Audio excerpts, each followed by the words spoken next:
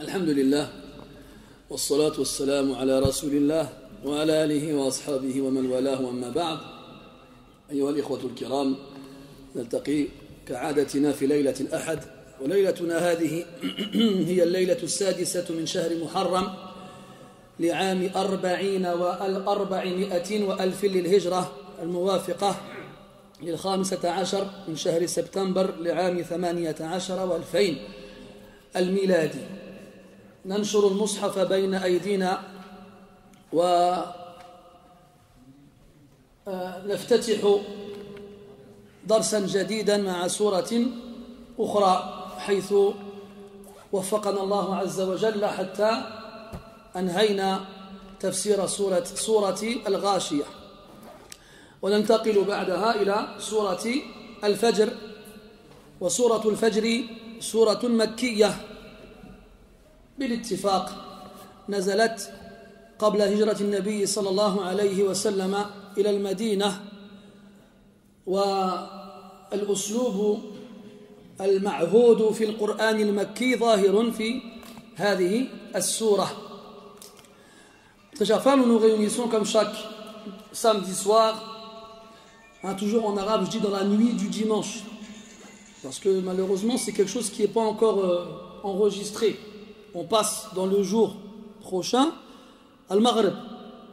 Donc quand on dit la nuit du dimanche, ça veut dire qu'on est encore samedi euh, dans un calendrier solaire. Dans un calendrier lunaire, on passe au jour suivant lorsque le soleil se couche, et pas à minuit. Hmm. Donc on est dans la nuit du dimanche. Nous sommes la sixième nuit du mois de Muharram et nous reprenons notre cours dans l'exégèse coranique comme chaque samedi soir.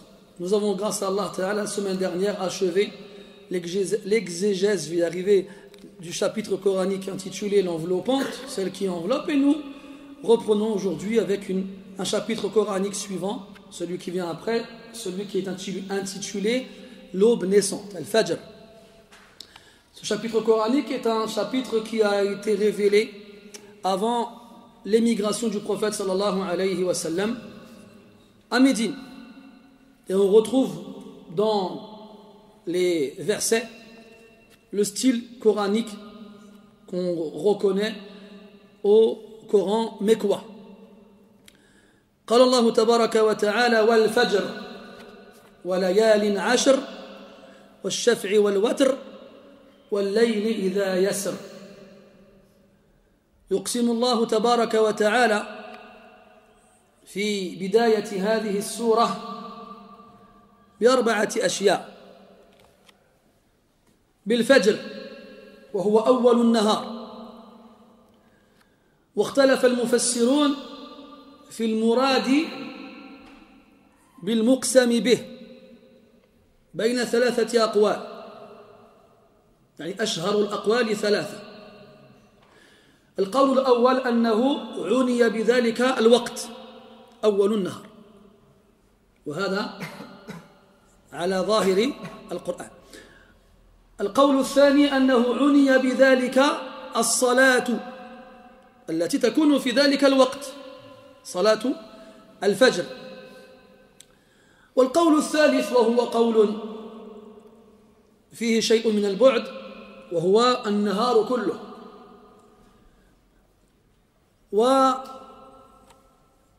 والظاهر أنه, أنه, أنه عني بذلك الوقت. ولا منافاة بين القولين في الحقيقة القولين الأولين. لأن الصلاة صلاة الفجر تكون في ذلك الوقت. وسوف نرى بعد ذلك أن أن الله عز وجل أراد إما العبادة في ذاتها أو وقتها أي وقت العبادة. وبينهما ارتباط وتلازم. والفجر. وقد مر معنا أن الله تبارك وتعالى يقسم بلحظات معينة في اليوم والليلة. وقلنا كذلك أن أكثر ما أقسم الله تعالى به في كتابه ماذا؟ الذي يعرف يرفع يده. أكثر ما أقسم الله تعالى به في القرآن.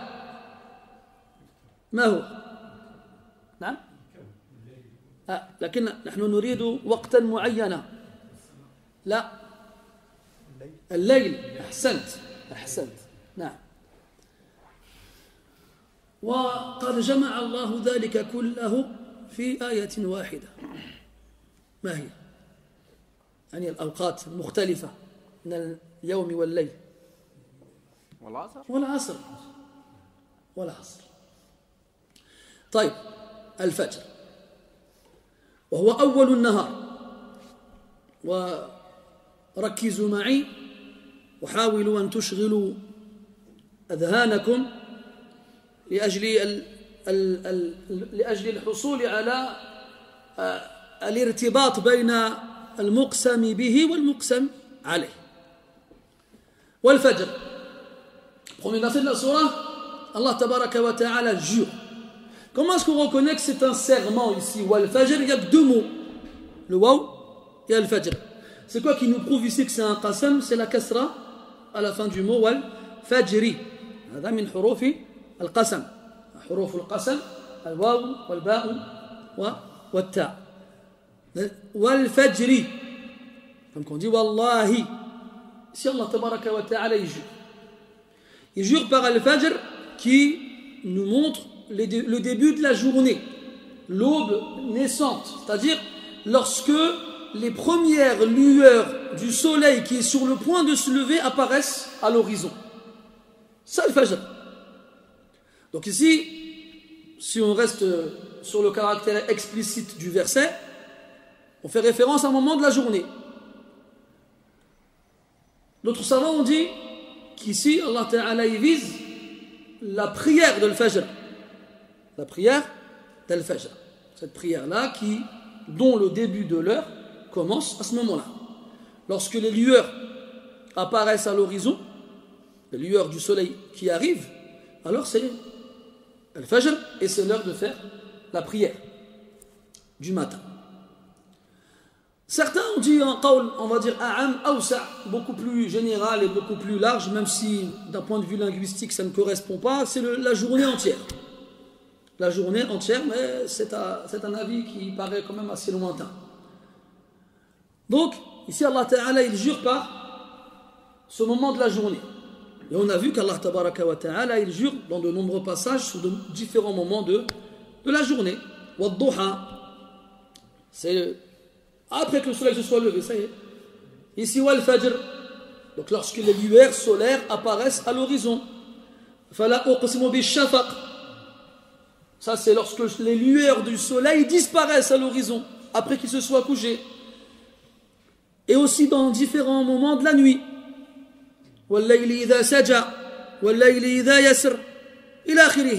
Donc Allah Ta'ala, il jure sur différents moments de la journée ou de la nuit pour montrer que ces moments-là, ils ont une importance. Et Allah Ta'ala a réuni tout ça, tous ces moments de la journée et de la nuit, dans un verset dans lequel il jure aussi, voilà. Le temps, par le temps. Et on verra après, justement, comme l'ont souligné certains savants, le, le rapport, le lien qu'il y a entre le serment, ce sur quoi Allah Ta'ala jure, et pourquoi Allah Ta'ala jure.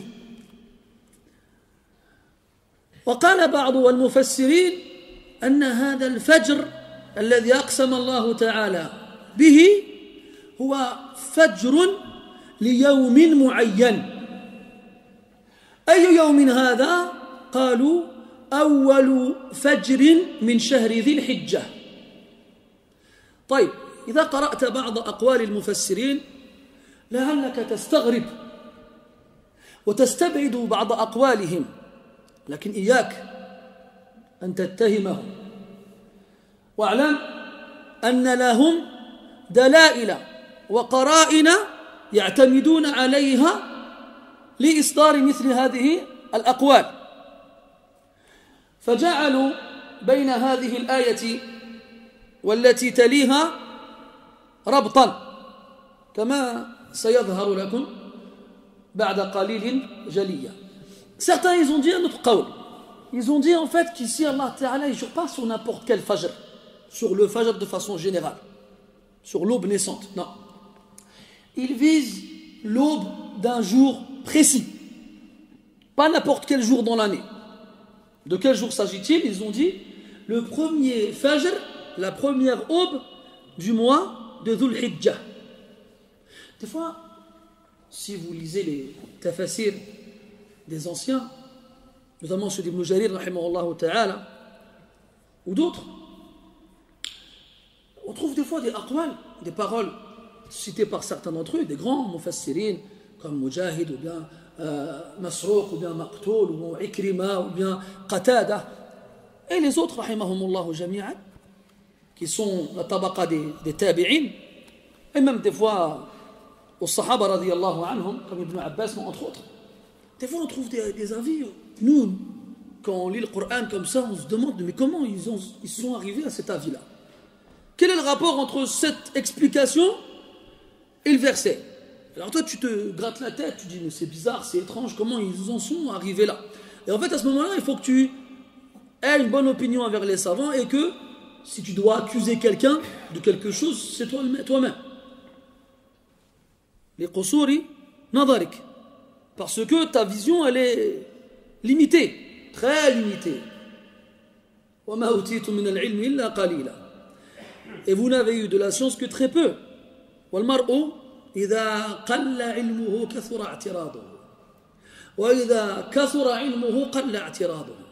personne, moins la science, plus elle s'oppose aux choses qu'elle ne connaît pas. Et à l'inverse, plus elle a de la science, moins elle s'oppose aux choses parce qu'elle les connaît.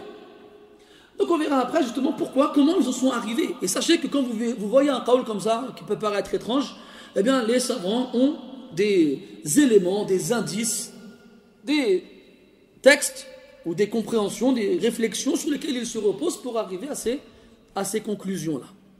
Des fois tu ne les comprends pas, mais ce n'est pas parce que tu ne les comprends pas qu'il n'y en a pas.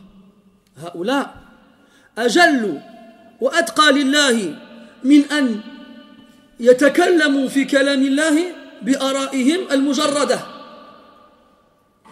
هكذا ينبغي أن يكون ظننا فيهم Ces hommes-là, dont on a cité les noms et beaucoup d'autres, dont on n'a pas cité les noms, sont plus illustres et plus, et plus pieux que de donner leurs avis dans la parole d'Allah Ta'ala, juste avec leurs réflexions sans avoir de preuves.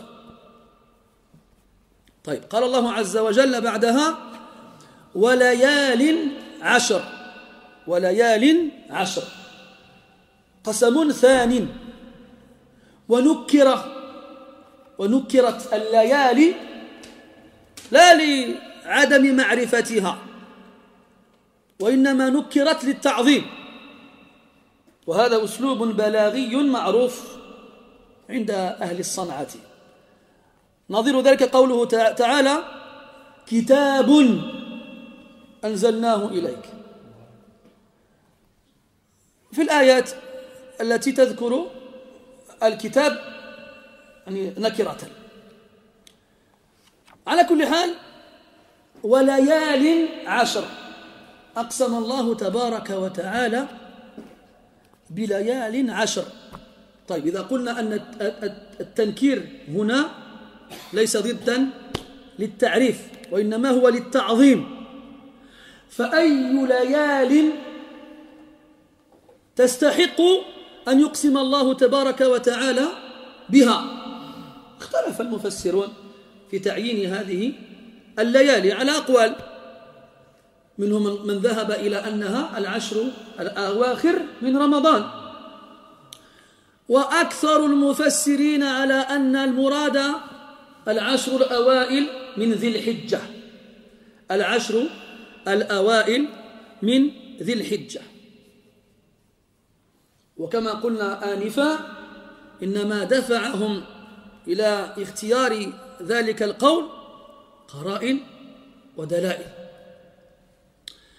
Puis le second verset, Allah wa ta'ala jure à nouveau. On a dit Allah ta'ala jure quatre, sur quatre choses différentes au début de cette surah.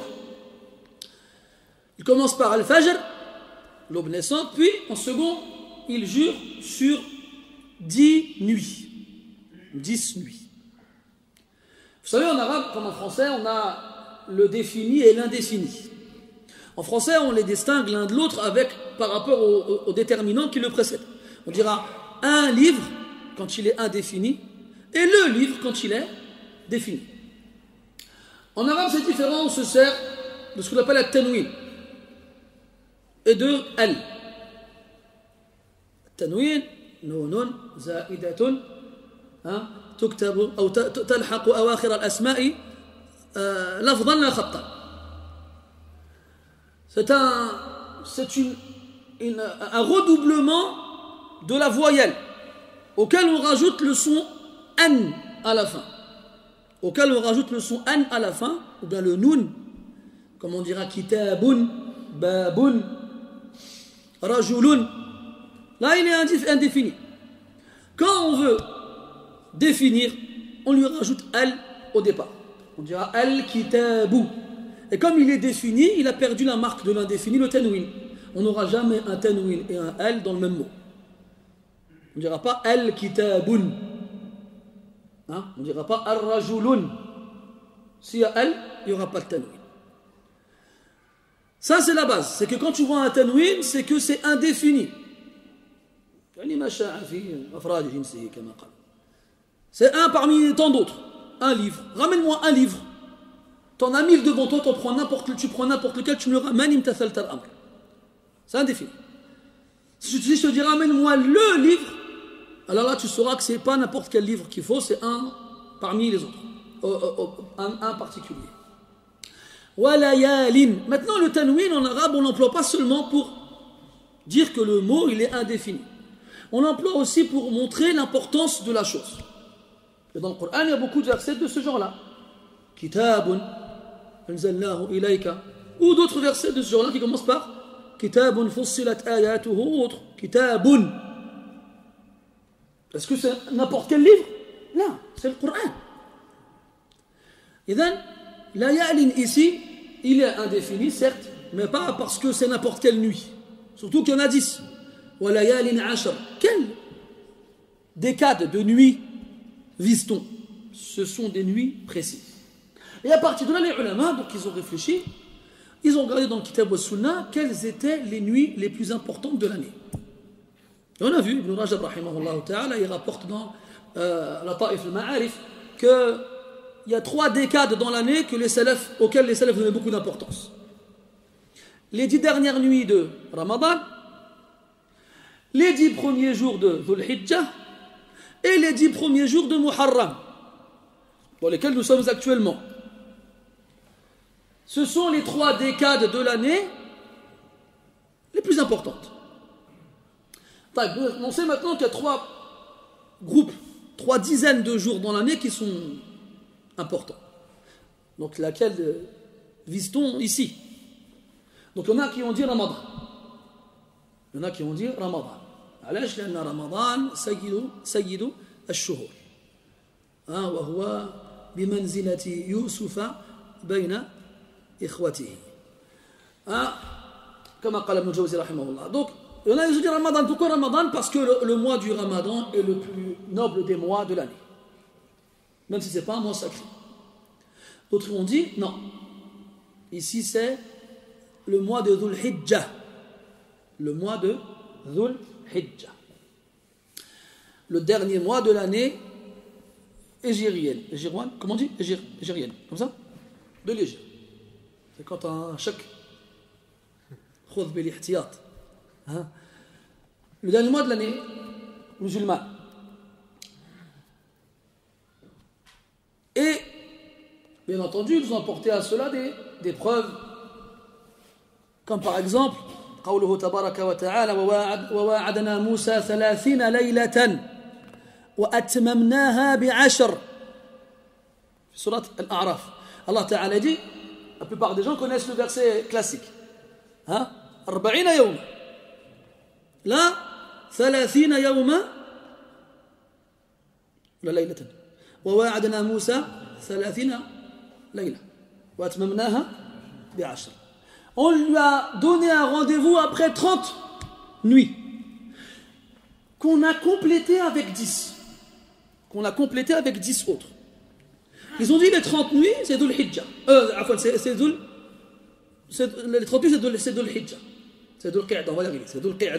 Et les 10 autres nuits, ce sont les 10 premières de Dhul Hijjah. Donc ces 10 nuits supplémentaires sont les 10 premières de Dhul Hijjah. طيب وليال عشر et on a qui c'est les 10 premières de Muharram celles dans lesquelles nous sommes actuellement la, la vie majoritaire et qui paraît le plus juste c'est le second comme quoi ce sont les 10 premières nuits de Dhul Hijjah بعدها قال الله عز وجل والشفع والوتر والشفع والوتر هذه يعني بفتح الواو قراءة عامة القراء. وقرأ الكسائي وخلف وحمزة بكسر الواو. والشفع والوتر والشفع والوتر. وهذه يعني هاتان لغتان مشهورتان معروفتان عند العرب. فما هو الشفع في الأصل؟ ما يتركب من من اثنين. والوتر فرد واحد. فظاهر اللفظ يدل على العموم أن الله تبارك وتعالى يقسم على كل ما هو شفع وكل ما هو وتر. لذلك ذهب بعض المفسرين إلى أن الشفع الخلق. قال الله عز وجل ومن كل شيء خلقنا زوجين. وقال عز وجل وخلقناكم أزواجا. ما المراد بهذه الأزواج؟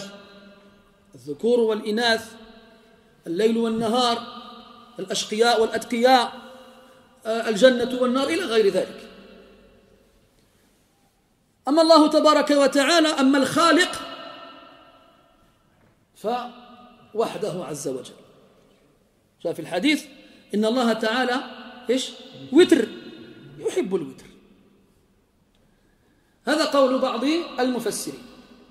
لكن ذهب أكثرهم إلى أن المراد بالشفع هنا أمر معين. والوتر كذلك. فأما الشفع فهو اليوم العاشر من ذي الحجة. يوم النحر يوم الحج الأكبر. يوم. يوم عيد الأضحى. وأما الوتر فهو اليوم الذي اليوم الذي قبله وهو يوم عرفة. لماذا؟ لأن اليوم العاشر العدد عشر هذا يوم عدد شفع والتاسع عدد وتر. وما الذي دفعهم إلى اختيار هذا القول؟ الارتباط من بداية السورة إلى آخر المقسم به. قد لاحظتم أنه يدور حول هذا الموضوع ما يتعلق بالحج بعبادة الحج Puis Allah Ta'ala jure à nouveau dans le même verset sur deux éléments, deux éléments liés. Al-Shafa, c'est le, le père, c'est pas le, le mari de la mère. Le père, c'est ce qui forme un couple. Ce qui forme un, couple. Un binôme, si vous voulez. Wa al-watr, c'est ce qui est un père. Al-watr, chez la majorité, chez la grande, l'ensemble des, des quand on dit les qurra, on fait référence ici aux a'imma qui ont euh, rapporté les lectures du Coran. D'accord? Donc il y a les dix lectures que vous connaissez, hein, euh, qui sont toutes attribuées à un imam, et chaque imam il a deux, il a deux rapporteurs. Ce qui est connu, c'est qu'il a deux rapporteurs. Eh bien, chez la majorité, tout le monde lit wa shafi'i wa watri avec le waw qui porte une fatha. On en a trois, qui Kisa'i, Khalaf et Hamza, qui eux lisent wal witr, al witr. Nous, on connaît plus euh, le witr avec la kasra que avec la, la. Même si la plupart des qira'at nous disent al-watr. Euh, donc al-watr, al-witr, ce sont juste deux fa- façons de dire la même chose chez les, chez les Arabes. Donc il n'y a pas de différence au niveau du, du sens. Nous, quand on parle de chef et le witr chez on fait référence aux, aux trois raka'at qu'on fait après l'Isha. Hein? Oui, naam, la dernière raka'a, la raka'a impair, l'unité de prière qui est composée d'un nombre impair, que ce soit 1, 3, 5 et l'akhiri. On l'appelle le witr, il n'y a pas d'ishkal. أما الشفع كتسمية لراتبة العشاء فيفتقر إلى دليل وإن تلقى تلقى بعض الفقهاء تلك التسمية بالقبول وجرت في كلامهم فلا عيب على من استخدمها وإن لم يوجد لها أصل في آه، آه، السنة Chez quand on parle aux gens de chef al-witr, généralement ce qui leur vient à l'esprit, ce sont les trois unités de prière que l'on fait après l'Isha. Deux et une toute seule. Quant au witr, oui, elle s'appelle comme ça cette prière-là. C'est parce qu'elle est composée d'un nombre impair, de 1 jusqu'à 11. Et les deux qui précèdent, ben, elles n'ont pas vraiment de nom. Mais les gens l'appellent Shafa, en opposition à l'Witr. Donc le père et, et l'impère. Donc euh, cette appellation pour cette prière-là n'a pas d'origine dans les textes. Mais certains fuqaha l'emploient, l'utilisent. Donc, Inch'Allah, il n'y a pas de mal pour celui qui l'emploie, même si elle n'a pas d'origine dans les textes. Al-amru fihi, واسع. هذه العبارة ينبغي أن تترسخ في الأذهان لا سيما في مثل هذا الوقت. C'est large. لا ينبغي التعنت ولا التشدد في مثلها. Euh, c'est des choses qu'il faut apprendre à accepter avec une poitrine élargie. Pas lever, comme ils disent, euh, je ne vais pas dire la croix, euh, mais la bannière euh, chaque fois qu'on on trouve quelque chose d'étrange. Donc, si on se base sur le caractère explicite du verset, eh bien Allah ta'ala, il jure sur tout ce qui est père et impair. C'est donc général. Et il y a beaucoup de versets comme ça où Allah ta'ala il jure sur des, sur des sens généraux sans viser quelque chose en particulier. مثلا قوله تعالى فلا أقسم بما تبصرون وما لا تبصرون Par exemple, quand Allah Ta'ala il dit Je jure par ce que vous voyez et ce que vous ne voyez pas. قال بعض المفسرين هذا أوسع قسم في القرآن. Certains savants disent ça c'est le qasam le plus large dans le Coran. Il, en- il englobe toutes choses. ما d'autres علماء يعترضون على مثل هذا. Certains savants disent non, يا هلا يا مرحبا. أشرقت علينا شمس في وسط الليل.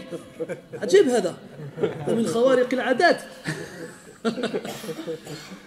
زي ما شاء الله يا soleil كي s'est levé euh, en pleine nuit c'est étrange. الأخ ما شاء الله ton voyage ça fait longtemps qu'on l'a pas فرحنا برؤيته. الله يطول عمرك على طاعته. طيب فعمر بن الخطاب رضي الله عنه وابقى الفجر. يسلف. يقعد لي جون هو الإمام. يلقي نظرة في الناس. أفيكم معاذ بن جبل؟ معاذ بن جبل لا لا معاذ بن جبل. ها أنا ذا يا أمير المؤمنين. Je suis là au commandeur des croyants. أقبل. فوالله لقد فكرت فيك الليلة حتى امتنعت من النوم. J'ai جي بونس toi توت la nuit jusqu'à ce que j'ai pas réussi à. Il est venu, فتعانقا وتباكيا. هذا هو الحب الخالص الذي ينبغي أن يكون بين الإخوان والذي نفتقده في مثل هذا الزمان. Il a dit, viens, j'ai tellement pensé à toi la nuit dernière que j'ai pas réussi à dormir.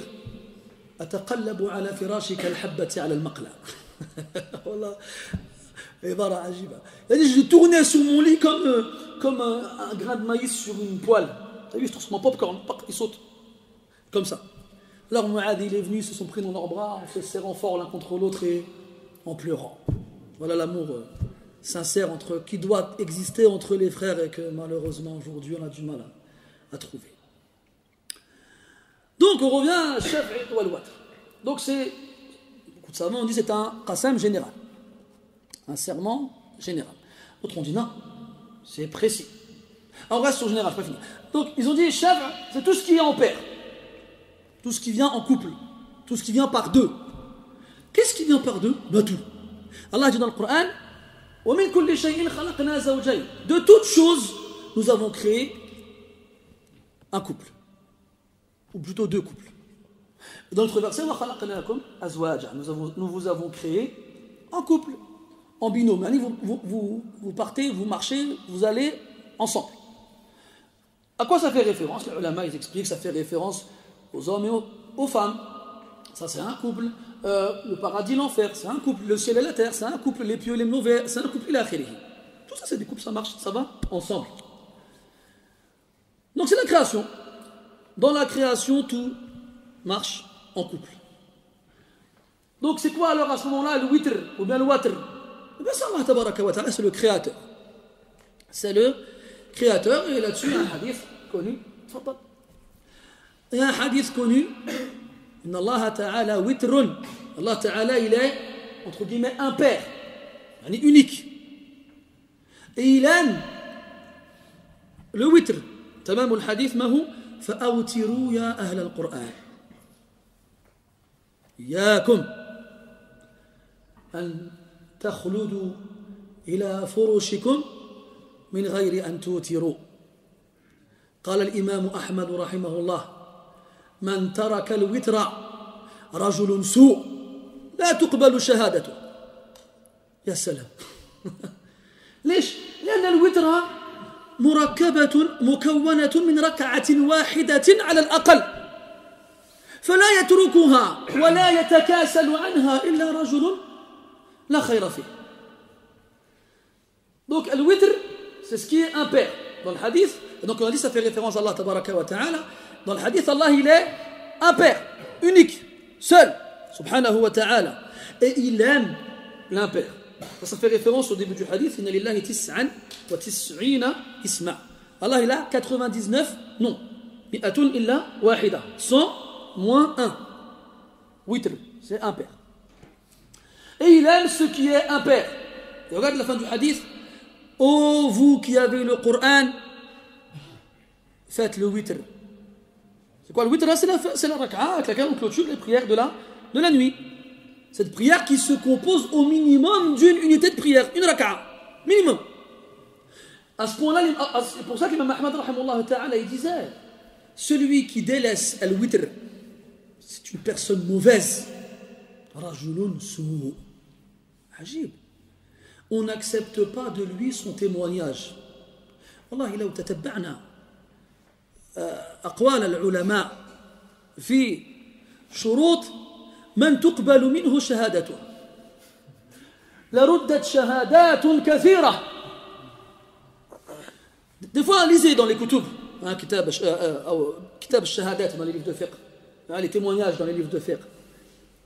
Quand on regarde les conditions qu'ils demandent pour qu'on, pour qu'on accepte le témoignage d'une personne, hmm, eh ben, de nombreuses personnes, leur témoignage ne serait pas accepté. De nombreuses personnes. Donc il dit la personne qui ne fait pas le c'est une personne mauvaise. On n'accepte pas de lui son témoignage. Ça veut dire, maintenant, il y a un mariage, tu as trouvé que quelqu'un qui fait le witr et le witr. Ben ça marche pas. Son témoignage, il n'est pas accepté. Si on veut faire un témoignage pour un, un commerce, kadalik, hein,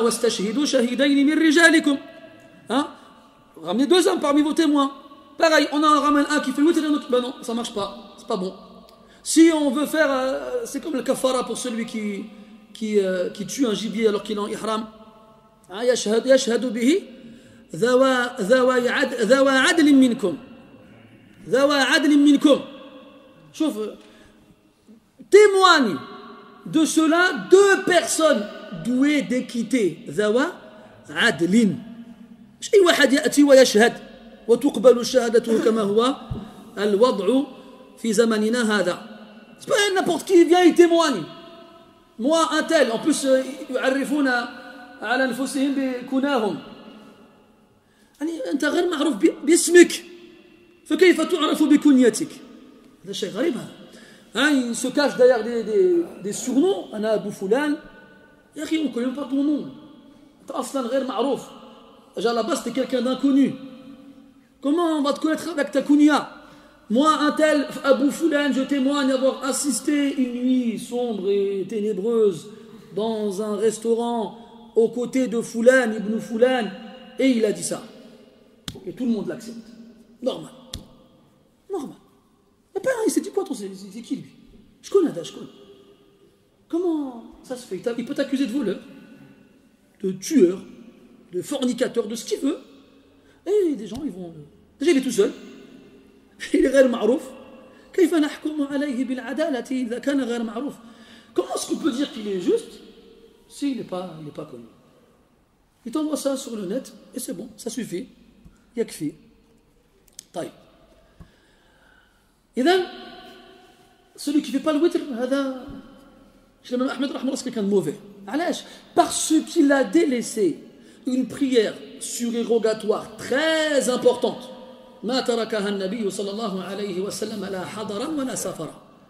Rasul l'a jamais délaissé, ni en voyage, ni en résidence. Jamais. dit ah, al-Qur'an, ô vous qui avez le Qur'an, ne délaissez pas le. Pourquoi est-ce qu'il a précisé particulièrement les gens qui ont le Qur'an? لأن المفروض على أهل القرآن أن يبيتوا لربهم سجدا وقياما يتلون كتاب الله تعالى آناء الليل وأطراف النهار. Pourquoi est-ce les a visés Parce que normalement, celui qui a le Coran, il doit passer sa nuit ou une partie de la nuit avec le Coran. كما قال ابن مسعود رضي الله عنه ينبغي لحامل القرآن أن يعرف بليله إذا الناس ينامون. كما نقل ذلك الأجري, الأجري رحمه الله Euh, comme il disait Ibn Mas'ud radiallahu anhu, il, il convient à celui qui porte le Coran dans sa poitrine de faire connaître sa nuit lorsque les gens y dorment. يمشي شي ينعس بملء عينيه pas dormir euh, jusqu'à remplir ses yeux هكذا donc déjà Ahlul Qur'an ils doivent passer un moment de la nuit en prière et ils doivent clôturer leur, leur, leur prière avec Al-Witr. Al-Witr ici, donc, on a dit dans le verset, donc Al-Shab' c'est Al-Khalq, quoi? Al-Witr, ou Al-Watr c'est Al-Khaliq Azzawajal. Mais, pourtant, même si ça correspond, machallah, ça, ça tient la route, eh bien la plupart des mufassiris, ils ont dit non. Al-Shaf' ici, il faut que ça soit lié à ce qui a été dit précédemment. Si on dit que le Fajr, c'est le matin du premier jour de Dhul Hijjah. Si on dit que Walayalin Ashr, ce sont les dix premières nuits de Dhul Hijjah. حديث ابن عباس في صحيح البخاري وغيره ما من أيام العمل فيهن أحب إلى الله من هذه العشر والحديث Il dit sallallahu alayhi wa sallam, il n'y a pas de jours dans l'année dans lesquelles les actions vertueuses sont plus aimées auprès d'Allah que dans ces dix-là. Lesquelles De Dhul Hijjah. Ils ont dit les dix meilleurs jours de l'année, c'est les dix premiers jours de Dhul Hijjah. Et les dix meilleures nuits de l'année, c'est les dix dernières nuits de Ramadan. Et c'est comme ça qu'on trouve une concordance entre, entre les textes.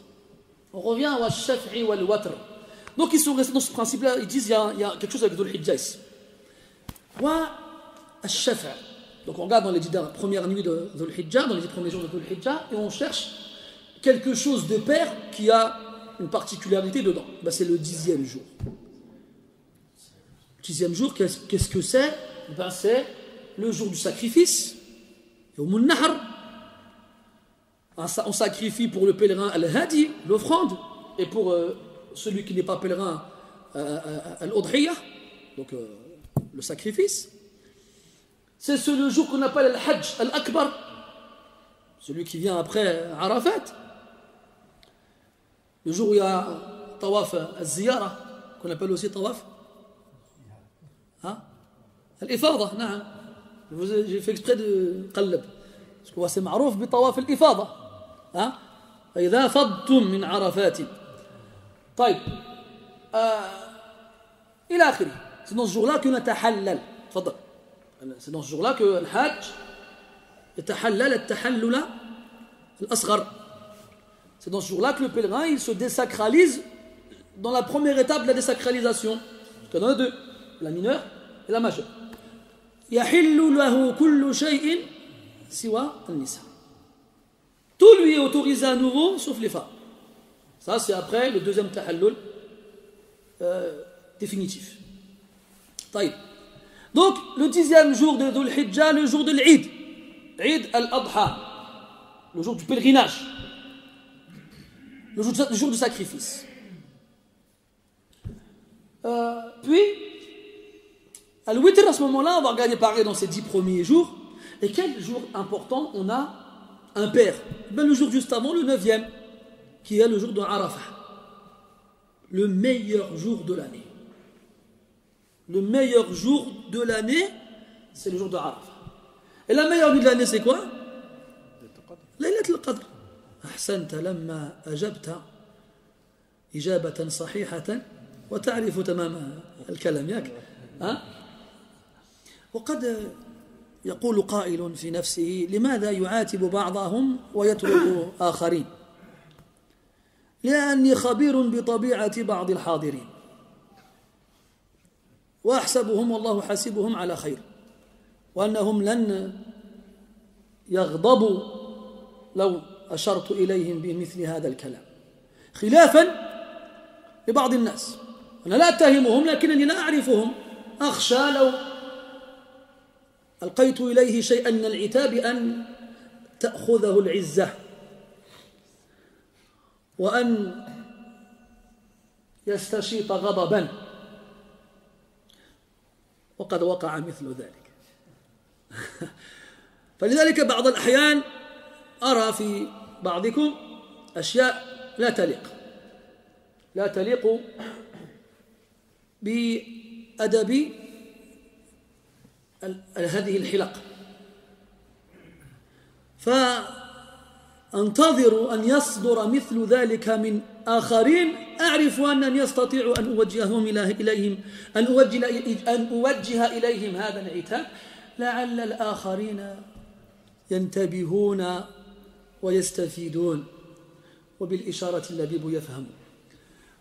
الشيخ عبد الرؤوف حفظه الله ورعاه إلى بيان ريبوندو على لا كيستيون سي اون بيس ديكو لا كيستيون سي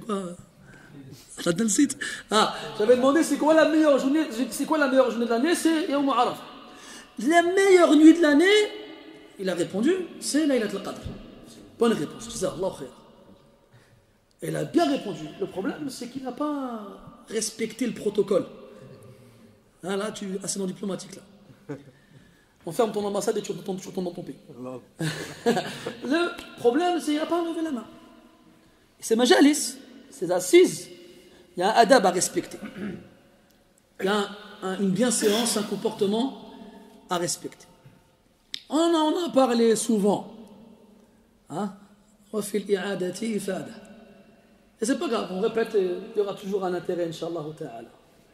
Euh, Parmi le comportement adopté dans ce genre d'assises, c'est de lever la main quand on veut prendre la parole. Comme quand on est petit à l'école et qu'on nous apprend de lever la main avant de, prendre la parole. Et avant même en attendant qu'on nous la donne, cette parole-là. D'accord? Et là, quelqu'un, il pourrait se dire, mais attends, euh, il y en a plein des fois, ils, répondent sans prendre la parole, demander la permission, mais tu leur dis rien. Ben, c'est fait exprès. Parce que vous savez, nous, aujourd'hui, on, on, est avec les, gens, on fait très attention. Et malgré toutes les précautions qu'on peut prendre, ben on, nous fait toujours des reproches. Une fois, je me souviens, vous avez vu, j'ai une petite, euh, expression, je, la dis souvent aux frères qui sont devant, quand ils baillent, qu'ils ouvrent leur bouche comme ça, là, jusqu'à ce que je vois leur molaire euh, les plus profondes. Ah, je dis, quoi Je il y a un lion qui vient de, rugir là devant moi. Là. Je dis aux frères devant, je les connais, machallah, je sais qu'ils le prennent bien, qu'ils ça passe. une fois, il y en a un, il était là, je ne parle même pas avec lui.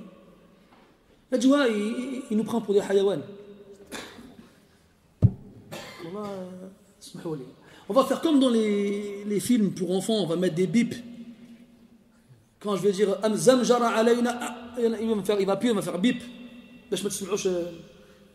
Voilà, c'est ça, c'est ça, le, on en est arrivé On en est arrivé. Alors, des fois, tu as envie de dire à la personne qui a pris la parole sans la demander, Akhi, Tu as envie de dire, Akhi, il ne faut pas parler sans prendre la parole demander la permission. Mais tu as peur qu'il le prenne mal. Tu as peur que dans son œuf, ça, ça, bouille, ça bouille, ça bouille, ça bouillonne. Alors je ne le dis pas. Khalé. Justement, j'espère que les petits. Enfin, j'espère, non, j'espère pas. Mais euh, j'attends que ça vienne d'un petit.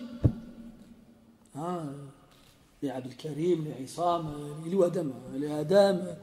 Mais بلال كي وخا نعس مسكين. لا تيفاتيكي وكوا. ها؟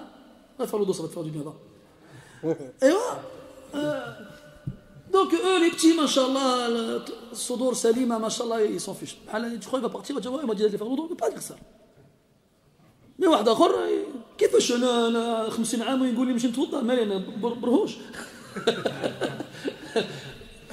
Tu vas dire à quelqu'un كبير tu vas سير توضا il va dire كيفاش moi j'ai 50 ans je me dire des phases mais moi je l'ai fait t'étais même pas né انت مالك انت alors je lui dis pas je fais un sourire je fais الله يرضى عليك quand عبد الرؤوف يزلق je l'attrape وضحي به je le sacrifie pour les autres جزاك الله خيرا على تحملك عتابي وإن لم تكن أهلا له في غالب الأحيان هكذا.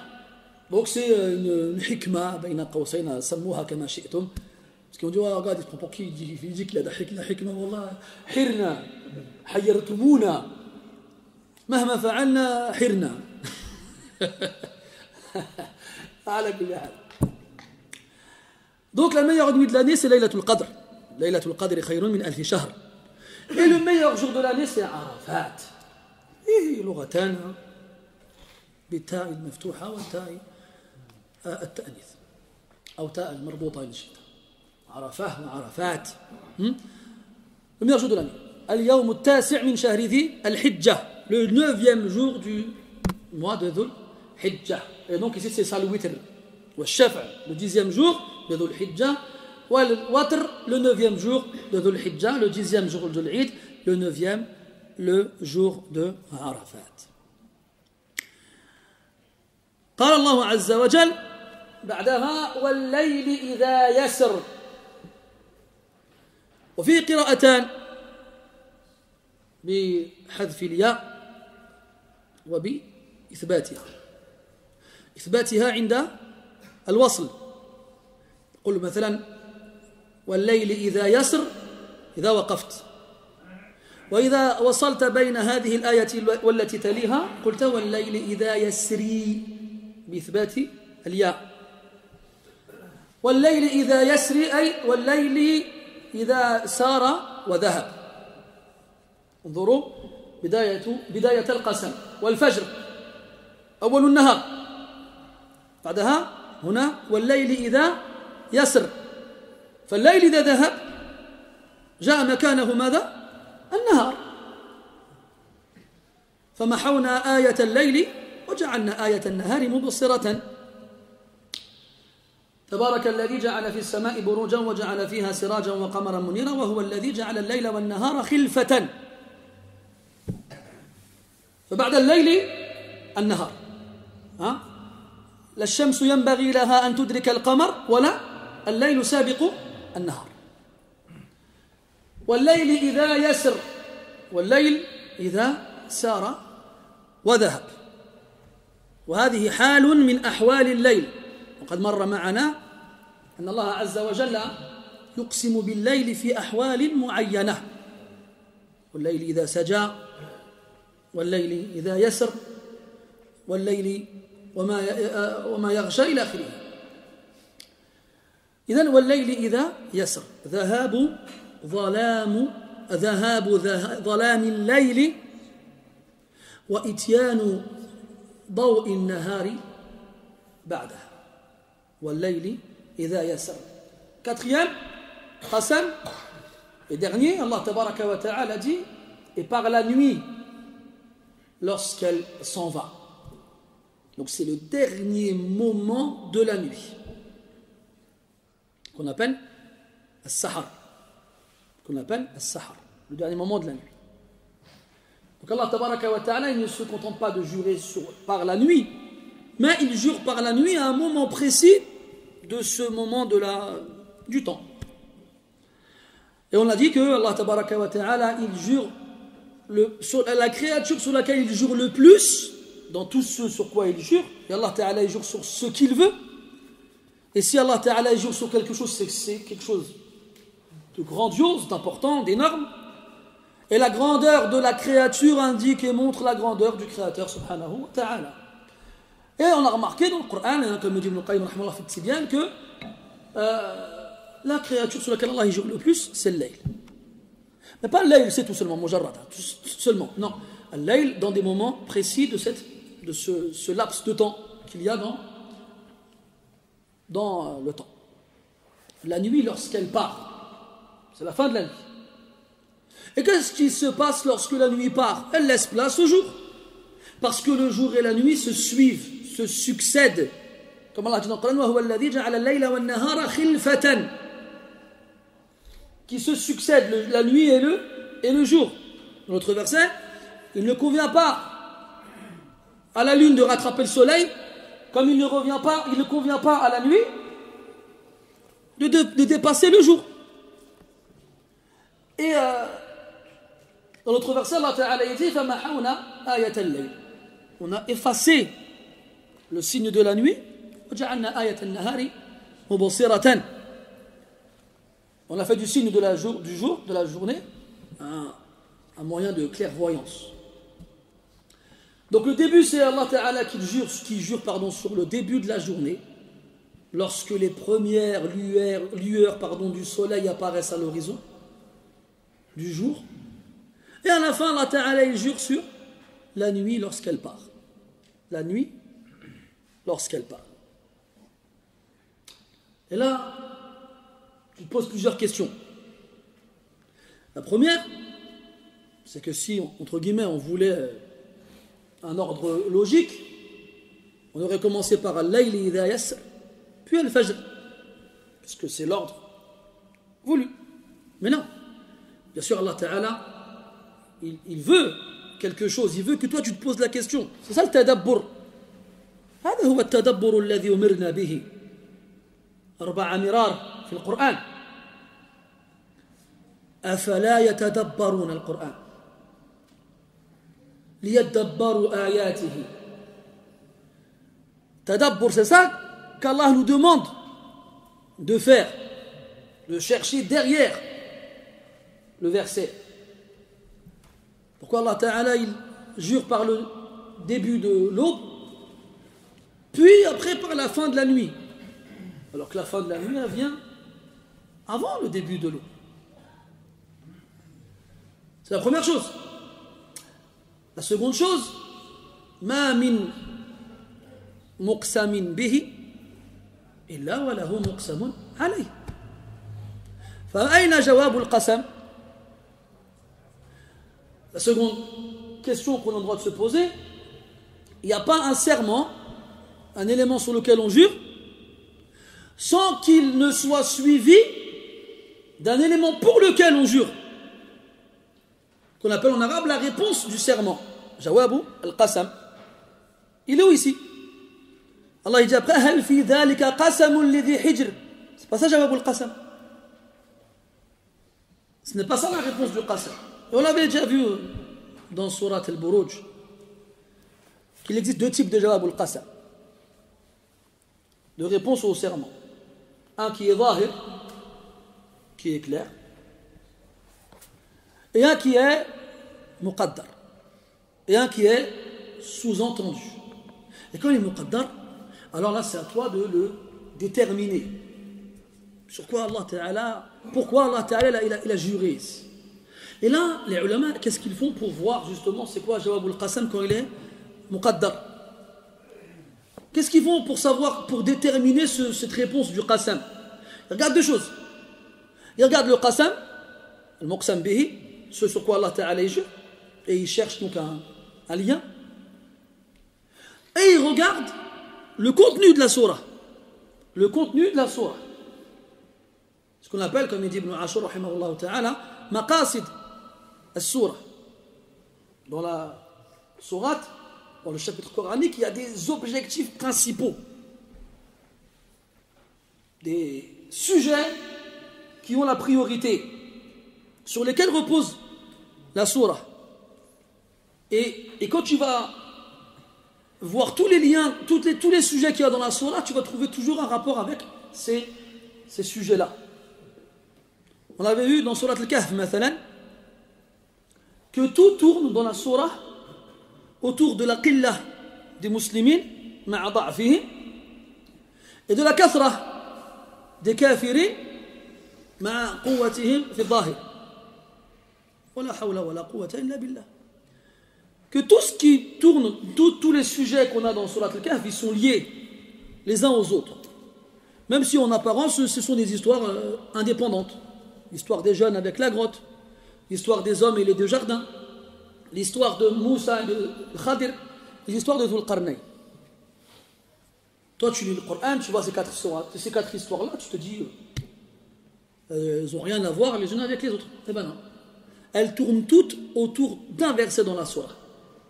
C'est quoi le verset واصبر نفسك مع الذين يدعون ربهم بالغداة والعشي يريدون وجهه ولا تعد عيناك عنهم تريد تريد زينة الحياة الدنيا الآية toutes ces histoires-là tournent autour de ce verset-là. En gros, ne laisse pas ceux qui n'ont pas d'importance pour les gens. Reste avec eux parce qu'eux, passent leur temps à adorer Allah Ta'ala et à l'invoquer. Même s'ils ne sont pas en grand nombre, même s'ils sont faibles. Et ne regarde pas ceux qui en apparence sont forts, en apparence ont, en apparence sont nombreux, mais qui sont loin d'Allah Ta'ala. لذلك أنصح إخواني الذين يقرؤون العربية بقراءة كتاب ابن عاشور رحمه الله تعالى كتاب لا يستحق لا يحتاج مني أن أثني عليه ها؟ لو فعلت لو فعل مثل ذلك لكأنما طلب من البخيل أن أن يثني على الكرماء على كل حال ceux qui lisent l'arabe, qui, qui, qui, connaissent les mufassirin, notamment les contemporains, il est mort en 1973, rahimahullah ta'ala, il, il prend à Tahrir wa Tanwir d'Ibn Ashur, al-Tunsi, rahimahullah ta'ala, un livre exceptionnel. Là, il faut lire pour le, faut lire pour le croire. C'est pas quelqu'un rigolo comme moi qui ne sait pas enchaîner deux mots qui va vous, euh, euh, vous en parler. C'est comme si on demandait à quelqu'un d'avare de, de parler des, des, gens généreux. Et quand on lit un tafsir comme ça, en Coran, il a une, une autre dimension. C'est autre chose. على كل حال أنا الآن شوقتكم ببعض الأسئلة لم آتيكم بالجواب عنها إن شاء الله ترجعون الدرس المقبل وتسمعون تسمعونها بإذن الله. Ah, je vais vous donner quelques éléments de questions en rapport avec les quatre serments qu'on vient de voir. Alors, on va laisser jusqu'à la semaine prochaine. Inch'Allah ta'ala, je vous laisse en suspense et en suspens pour vous apporter les réponses les, euh, y correspondant, euh, qui les correspondent. Pardon. سبحانك اللهم وبحمدك أشهد أن لا إله إلا أنت نستغفرك ونتوب إليك وصلى الله على نبينا محمد وعلى آله وأصحابه أجمعين والحمد لله رب العالمين وبارك الله فيكم.